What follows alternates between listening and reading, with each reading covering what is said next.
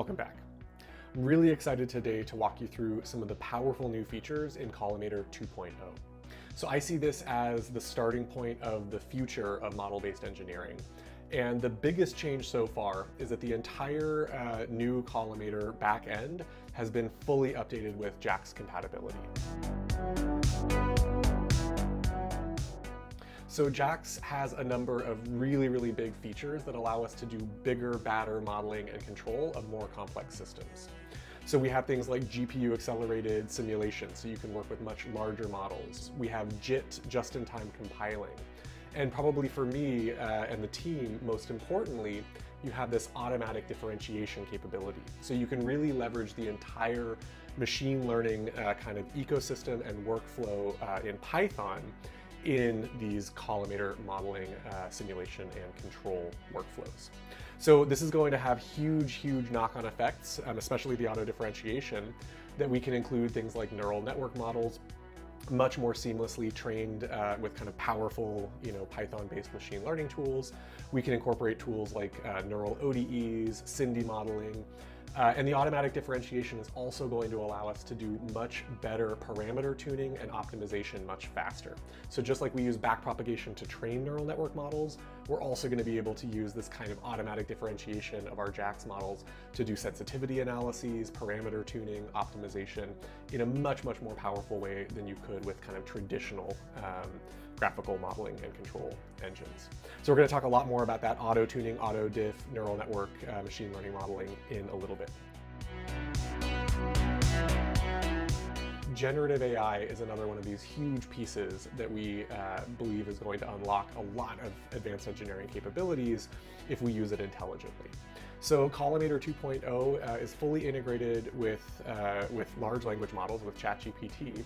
And so you can use this as a co-pilot to do kind of this collaborative model-based design, engineering, and control.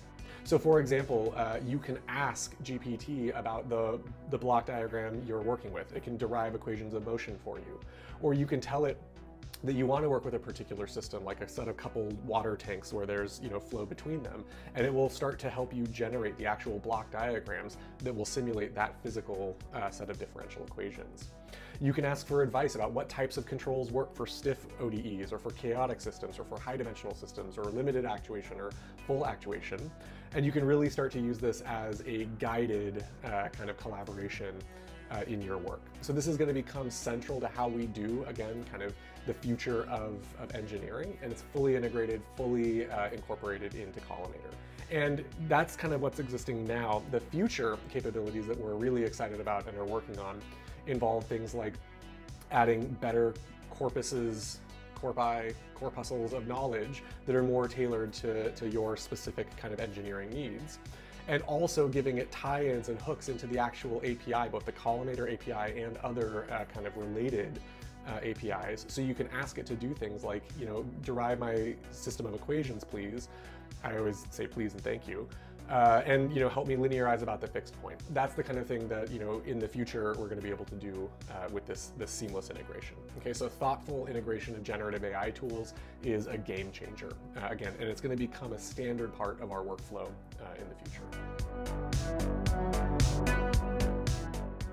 One of the other things we're really uh, excited about is this integration with actual hardware. Um, so we've been partnering with Quanser Systems. Um, Quanser is an educational control and modeling hardware company that, that builds really, really cool uh, controls hardware and physical systems that you can use to uh, teach students about controls and robotics and things like that. I, when I was a grad student, I learned control theory on Quanser hardware, actually at Princeton. Um, and so this has been a collaboration between Quanser and Collimator to see if we can start using uh, Collimator as the graphical modeling and control engine to start analyzing these Quanser systems. You know, very quickly it was possible to get Collimator wrapped around this Quanser virtual kind of digital twin uh, rotary pendulum system. And with a little bit of you know controls engineering know-how, you can swing this thing up using energy-based control into the upright vertical position, where you then stabilize um, you know using classical control theory. But what I thought was really remarkable was that once uh, you have this controller wrapped around this kind of digital twin, you can then take that exact same collimator control model and wrap it around the actual physical Quanser hardware, and it basically just works, um, you know, from the from the get-go. So that's really really exciting. We have this kind of uh, actual hardware in the loop control design um, in Collimator 2.0. One of the things I'm really excited about with Quanser is that during the, the pandemic, they put a really concerted effort into moving their physical hardware systems into these digital twin representations. So now there are digital twins of um, most, if not all, of their actual hardware systems. So even if you don't have access to their you know, physical hardware, if you're doing this on, uh, on the internet, if you're a remote learner, you can still interact with those systems. One of the things I'm most excited about is real-time collaboration. So because this is cloud-based uh, and, and, kind of interactive, you can have a whole team working on one collimator simulation uh, and control model where you know in the past it's been a very isolated, solo, lonely experience to do this um, uh, in, in other software. So all of us want this kind of Google Docs uh, shared functionality, and now we have this real-time collaboration in Collimator, so you can work with your friends and colleagues in a much more natural, much more modern way. Again, think the future of model-based engineering. It's going to be teams working collaboratively together on the same models. So another really, really exciting piece of this uh, Collimator 2.0, this major overhaul to Collimator, again, going back to this full JAX uh, integration, we now have the capability to do things like automatic differentiation uh, of our models. So Collimator models can now be fully composable, fully differentiable, which is a huge, huge uh, advantage when you're doing control and modeling and optimization. So just like you can use backpropagation uh, to train a neural network, that is essentially leveraging the automatic differentiability of you know neural network layers, we can do the same thing to compute sensitivity analysis of any input to any output and vice versa. We can optimize much more powerful, uh, big, you know, high dimensional optimization problems with this uh, automatic differentiation. This has huge effects for things like model predictive control, reinforcement learning, um, and just like you could traditionally use gradient or adjoint based optimization. We can do the same kinds of things, but without those you know, very, very challenging pencil and paper calculations of the adjoint or the gradient.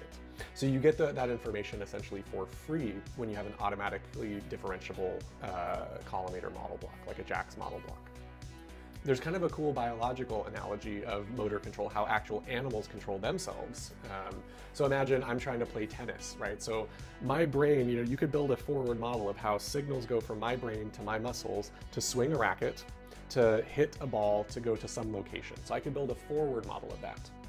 What auto differentiation and back propagation allow you to do is now if I want to move the placement of that ball, I want it to go one meter to the, to the left or to the right, back propagation allows me to go back through that circuit, through that, that instead of a forward model, it allows me to back propagate through that, that, that model and actually figure out how to change the inputs to get that desired output. So forward models tell us how to, you know, how an input will affect an output. Back propagation, enabled by automatic differentiation, allows us to figure out how to change my inputs to get the desired output. That is a game changer for optimization and control, and it's going to become a cornerstone of modern model-based engineering. So again, that is enabled by our full JAX compatibility and integration in Collimator 2.0. And there's other kind of related things you can do once you have this capability, this automatic differentiation capability. Um, and so I think of this sometimes as allowing you to get sensitivity analysis. You can do kind of gradient-based optimization without explicitly computing those gradients. And it allows you to do really, really cool things like auto-tune your controllers. So here there, we have a demonstration of auto-tuning a PID controller. So instead of doing kind of a grid search through all of the P's, the I's, and the D's, the proportional integral and derivative gains, here you can do something much more clever and much more computationally efficient by using this kind of automatic differentiation to auto-tune your PID controller. So we think that this is a really cool feature that again, we think we're trying to envision, we at the Collimator, you know, the, the team are trying to envision what is the future of engineering? How are people going to use tools in the future? Anything that is kind of uh, boring or repetitive or tedious, um, you know, that a human would do, like tuning a PID controller, we think that that should be a one-click auto tune using this, this uh, kind of automatic differentiation capability. And so currently we have this in, in PID tuning, but you're gonna see this getting integrated into a lot more features in Collimator, again, built on this automatic differentiation in JAX. So you can have it so that your MPC controllers are auto-tuned or your SINDy-based controllers are auto-tuned. Uh, and you know, kind of the sky's the limit if you really are able to leverage these uh, modern tools. There's also really, really powerful advances in model predictive control. Um, this has been one of the fields that has been changing the most rapidly with deep learning and modern machine learning. So we have things like uh, deep MPC, tube MPC, uh, you know, we can do nonlinear MPC problems that were previously kind of unfathomable based on their computational complexity. And so here you can see just a, a really simple example of this bigger idea that we can actually do uh, model predictive control um, you know, in a much more powerful and general way uh, in these kind of modern, um, fully composable, fully differentiable environments.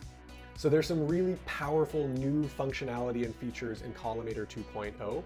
Uh, again, really reimagining. The team at Collimator has been reimagining what does it mean to do model-based engineering, uh, design, dynamical systems, and control in the modern era. What is the future of model-based engineering? The Collimator has had this massive update, but the team uh, is as fantastic as they ever were. So that's, for me, my favorite part about this is that you know that the Collimator team is already thinking of the next uh, set of functionality and the next things that they want to build on this uh, increasingly powerful base.